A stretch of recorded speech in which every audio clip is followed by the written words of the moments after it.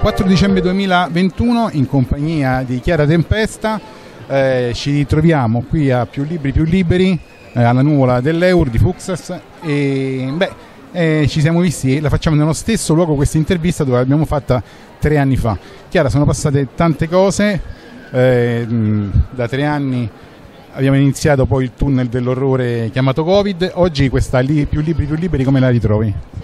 Beh, probabilmente siamo tutti un po' spesati, sia noi editori ma anche visitatori, perché sembra quasi un'atmosfera surreale dopo tanto tempo. Poi però dall'altra parte c'è comunque una voglia di, di, tornare alla normalità, anche di socializzare, di... non lo so, cioè si vedono, si vedono immagini contrastanti in fiera, si vede gente un po' impaurita che mantiene distanze e tutto, però poi tutto un colpo si vedono delle persone che si ammucchiano tutte nello stesso luogo senza pensare a tutto quello che stiamo comunque passando, perché lo stiamo ancora passando. Però credo che sia anche normale, noi la natura umana.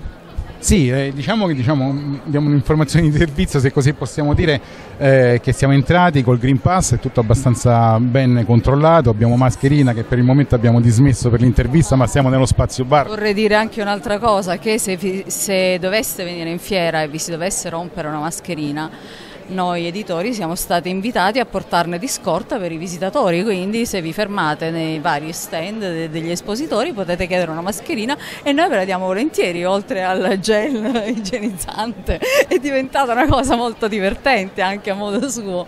Sì, sì. Siamo... Eh, mi, sta, mi sta rompendo un laccio di una scarpa, ma vedo se magari qualcuno può sopperire a questa mia mancanza. Senti Chiara, e come pensi, è una previsione, non una previsione, anzi una considerazione, da te che sei una editore, un'editrice, eh, che sia, abbia influito questa, mh, mm, questo tunnel dell'orrore che ho detto prima, Covid, sulla produzione libraria, insomma è entrato in qualche modo, ha cambiato nella produzione e nel, diciamo, nel, nella, nel consumo, nel, nell'acquisto. Questi libri si vendono di più, si vendono in un modo diverso, forse collegato al fatto che c'è stato molto, eh, un periodo insomma, abbastanza lungo in cui non si è potuto uscire di casa, gli acquisti online, una considerazione di questo tipo eh, da parte tua? Allora, considera che nel periodo in cui siamo stati chiusi, il primo periodo del lockdown, non era possibile comprare in libreria perché avevano chiuso le librerie, ma non era possibile comprare nei negozi online.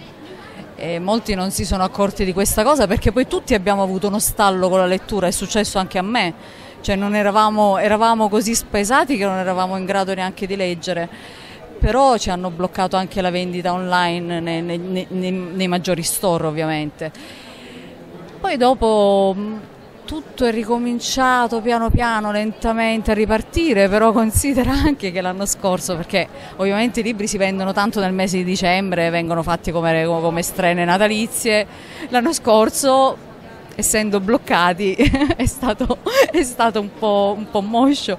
Quest'anno forse si sta riprendendo un po' questa cosa, però ovviamente parlo per, per, la, mia, per la, mia, azienda, per, per Tempesta, c'è, c'è, poca anche proposta, c'è anche propo, poca proposta, cioè c'è poca proposta di manoscritti.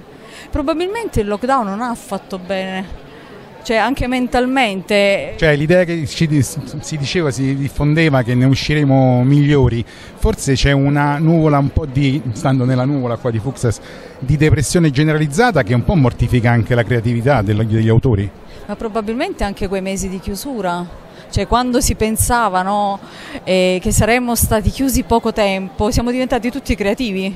Io stessa mi sono messa a tinteggiare casa quando ho capito che la cosa sarebbe diventata molto più lunga, la voglia di fare è passata e probabilmente anche a chi, chi scrive. Ovviamente parlo più della saggistica perché poi la mia casa editrice è specializzata in saggistica, ma probabilmente sarà così anche per gli altri. È stato qualcosa che un po' ci ha schiacciato, ci ha tolto proprio la voglia di fare. Poi si spera si, torner, si tornerà a una normalità lentamente, anche se poi non so quanto sarà più la normalità che conoscevamo noi, questo non lo so.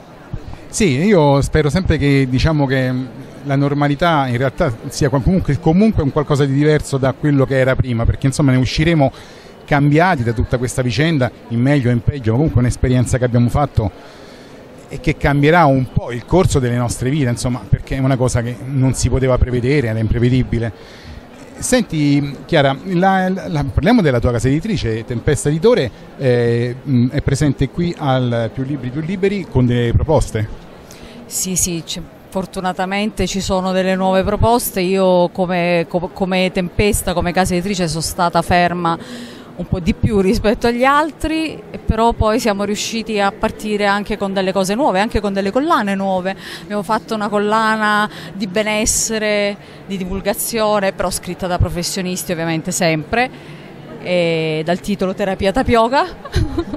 Questo per, per far capire che è una cosa leggera ma non superficiale ovviamente perché appunto è scritta da persone che comunque hanno le competenze per scriverle poi è uscita una nuova collana curata e scritta da, cioè i libri sono scritti e curati da Federico Sanguinetti, che è un dantista, un filologo, un docente universitario, e una collana di filologia minima essenziale. E poi ci sono, ci sono, tante novità, libri musicali interessanti, l'ultimo uscito è il Napoles Power, è un libro che parla di un grandissimo movimento nato negli anni 70 a Napoli, un movimento che ha svecchiato la musica napoletana, eh, si è, eh, si è, voluto ribellare al neomelodico, a ciò che era proprio la tradizione napoletana e ha, crea- e ha, fatto nascere artisti come la nuova compagnia di canto popolare, Pino Daniele, gli showman, gli Osanna, ma per citarne alcuni, ma si potrebbe anche parlare di Petra Montecorvino e tanti altri. Molto bene, noi diciamo che eh, la, il Più Libri Più Liberi sta qui eh, alla Nuvola di Fuchs dal 4 che è oggi all'8 eh, dicembre e Chiara Tempesta sta allo stand?